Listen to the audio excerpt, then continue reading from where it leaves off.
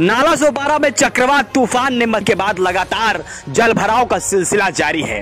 नाला सोपारा की वे सड़कें जो हमेशा ही जरा सी बारिश में जल भराव में लीन हो जाती थी, एक बार फिर से मनपा की नाक कटवाने के लिए ये तस्वीरें काफ़ी हैं। वो धन जो लगातार लोगों से करों के रूप में वसूल कर जनता के लिए दिया जाएगा और उनके लिए काम किया जाएगा, जैसे शपथ। बताने वाले गंगाधरन डी, आप देख ले अपनी आँखें फाड़ कर कि किस प्रकार से नाला सुपारा जरा सी बारिश में फिर से जलमग्न हो गया। माना कि तोकते तूफ़ान का कहर जारी है, उसका, उसकी तेज रफ्तार और लगातार बारिश प्रभावित कर रही है संपूर्ण कई सारे तटीय इलाकों को। लेकिन नाला सोपारा की ये जगह नाला सोपारा की ये तस्वीरें ये बताती हैं कि जरा सी बारिश, जलभराव तो करेगी ही करेगी।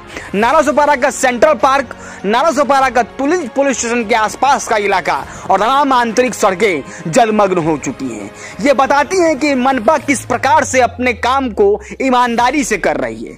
जल है या तालाब, समझ में ही नहीं आ रहा है। सड़कें ज़मीन पर हैं या ज़मीन के नीचे धस ची गई हैं, दिखाई नहीं दे रहा है। दिखेगा कैसे? जब जल मग्न हो चुका है, जल भरा हो चुका है और मनपा के अधिकारी डकार मार चुके हैं। आखिर ये पैसा गया कहाँ। वो आईआईटी निरी की निरीक्षण के बाद में जो उन्होंने रिपोर्ट तैयार की थी धरातल पर अभी तक लाया क्यों नहीं गया? और लाया गया तो ये नज़ारा ये है तो कहाँ है वो नज़ारा? जिसे देखने के लिए बार बार कहते रहते हैं कि इस बार जल भराव में कमी होगी और जल भराव नहीं होगा।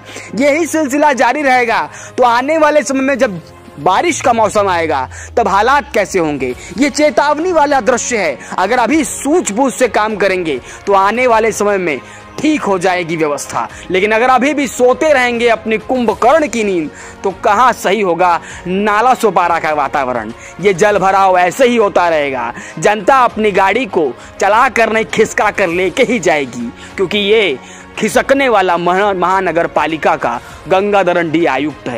और आयुक्त की कार्यशैली का ये एक नज़ारा, ये एक उदाहरण सामने है। Anti corruption news, Nala Sopara.